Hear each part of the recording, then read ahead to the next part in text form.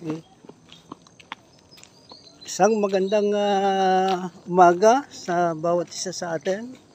Ah, nandito tayo sa may lugar ng ah, Bugos, ano, barangay ah, San Francisco. Kasama ko yung aking magagandang pamangkin. Ayan, ang aking magagandang pamangkin na si Hi, hi, hi.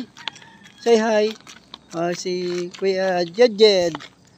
Yan ang aking makakatuwang sa pagdating ng araw sa misyon.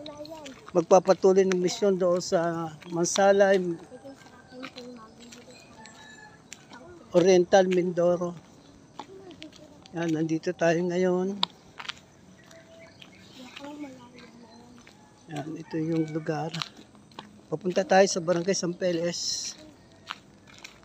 Kaya maganda ang lugar na ito. Samentado. Meron tayong nabili dito na 500 square meter. Eh, kulang kulang 1,000 square meter. Ito ay pag-aari ng ah, Bugsi. Yung business na pinagkatiwala sa atin ng Panginoon.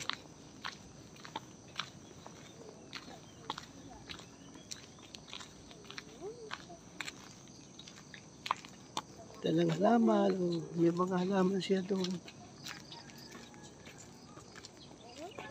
Ito kagandahan sa probinsya. Whitey! Whitey! Brownie! Yung mga aso sumusunod. Oo. Hindi, hindi. Huwag kang, huwag kang, huwag kang, Kasama yan. mababait yan. Hindi, kaya hindi kumakuha yung buntot. Hindi naghahanap ng ano, ng, ng kaibigan. Wala, wala sila. Yan. Nandito tayo sa nasa barangay San Pelis na tayo. O, yan po yung kapaligiran diyan. Di po ba nakaka nakakatanggal ng stress. O, yan po yung atin hong ah, yun yung ah, pinagkatiwala sa atin ng Panginoon. Yung kalikasan na yan, lahat ng ating nakikita para ating pangalagaan at ating ingatan.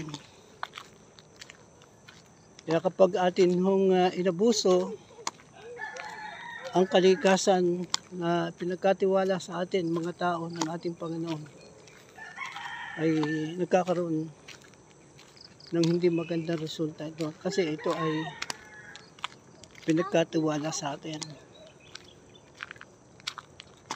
ang ating Panginoon. Kaya sinabi doon sa Genesis chapter 1 verse 26 hanggang sa mga last verse. Kaya we are so blessed dahil tayo espesyal. Itinangi tayo ng Panginoon. Yung pagkakalika sa atin ng Panginoon ayon sa kanyang larawan at sa, wang, sa kanyang wangis. At tayo po yung binigyan ng authority na pinamahala hindi sa mga hayop kundi tayo pong mga mana ng palataya. Nakakabilis yung aking pamangkin, yung aking kapartner. Yan o, hi. Ito yung isa yung aking, ah, oh yan. Isang araw yan ang makakasama ko sa pagmimisyon sa na pinagkatiwala sa atin ng Panginoon. Saan man tayo dali ng Panginoon.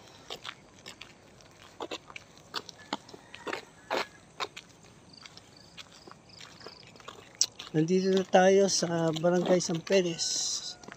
Ang ganda ng ano, ng, ng ah, kapaligiran. Hindi katulad sa mga lugar na develop na. Wala na yung ganyan mga puno, ganyan mga katubiganan. Ginawa na yung iba na subdivision.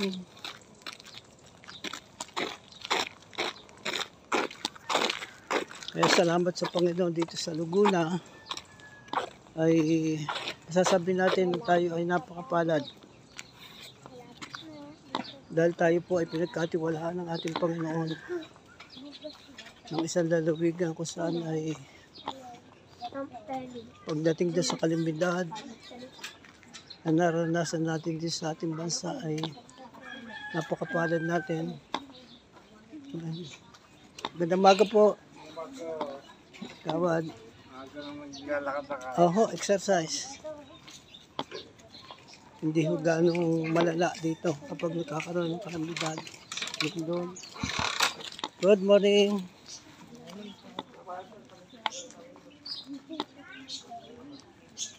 Ito po ay Barangay San Peles. Tapos na lang.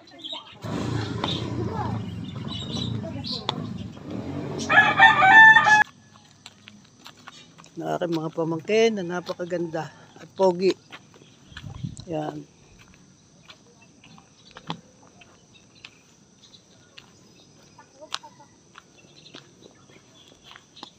O, una kayo daw, no? Una, titingin ka sa daan, ha?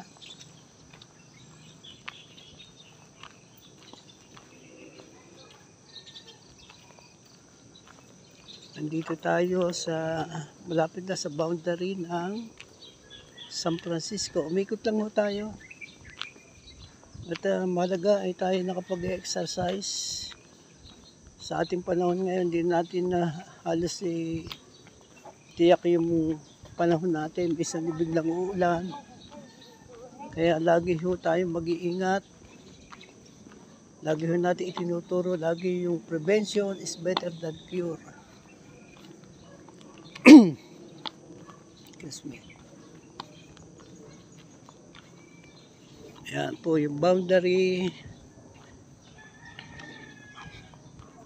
ng Barangay San Peles. Ito ang pagpasok natin dito. Ayan. Ito ay Barangay San Francisco na. Diyan kayo, diyan kayo. Hu- Huwag kayong alis dyan. Tabi muna kayo. Diyan kayo, diyan kayo.